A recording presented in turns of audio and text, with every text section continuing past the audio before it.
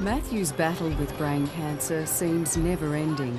Latest scans reveal he has another four deadly tumours. Surgery is now his only hope.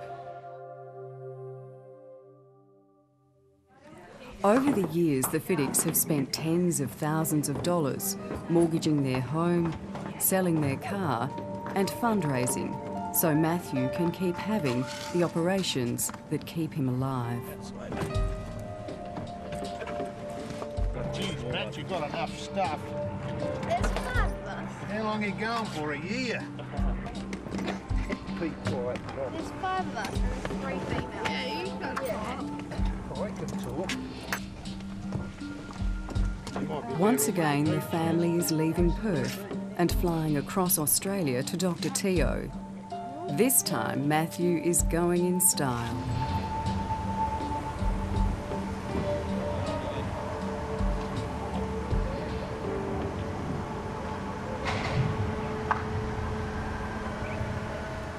How you going? Good Morning, how are you? Good. How are you, mate? This is Matthew. Hey, Matthew, Mark's my name. How are you, mate? This is Did very get exciting, isn't it, Matt's Matt's favourite cars in the world. The two favourite things, it's a Holden and it's a police car. There you go. Gotta be a Holden. for this. Come and have a seat, mate. Lord, Nat. No, it's not. Uh, are you going to put the handcuffs on him? Uh, Put the handcuffs on you. yeah, sure. know what what? about my Ford? I made this race over on my computer, right? Yeah? And know what I said? What? I'd rather push, I'd rather push a Holden and drive a Ford. Yeah, thanks very much. Oh, man. フフフ。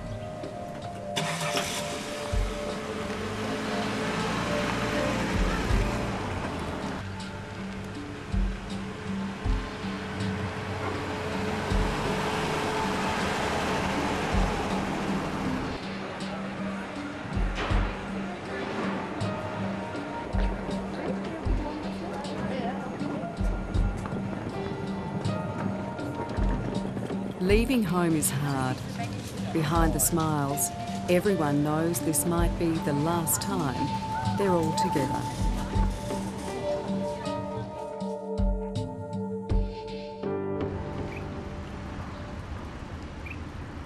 How are you?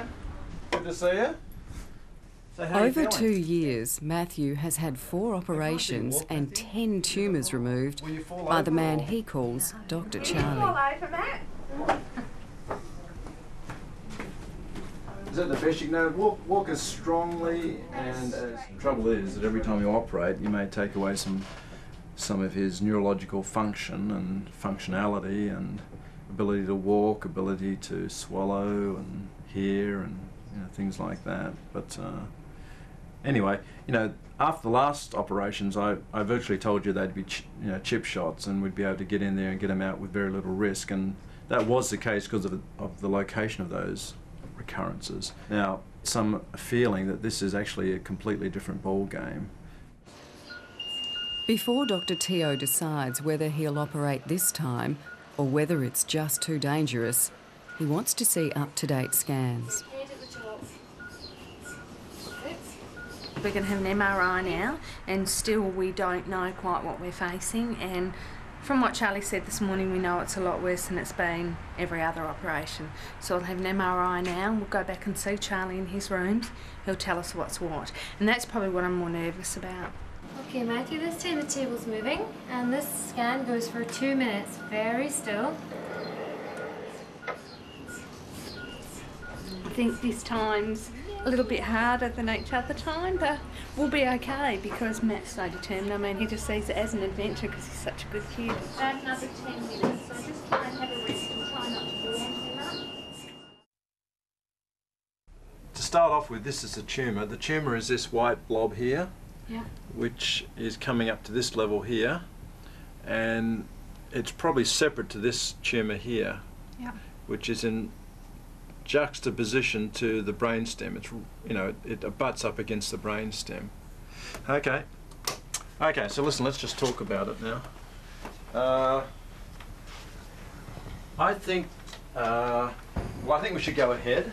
I have concerns and I'm going to have to either peel a tumour off the brainstem or actually get into the brainstem and maybe cause a little bit of damage when I get into the brainstem. So you're looking at probably a risk of about 10%, uh, which is not insignificant because we normally say to people there's a risk of about 1%, you know. So, you know, this is not insignificant risk because of the close proximity to the brain stem of that, of that one that you saw. Are you okay there, Matthew? You want us to go ahead? Good boy. Okay. Yeah. Right here. Great, Charlie, Charlie. thanks. That's what we wanted to hear.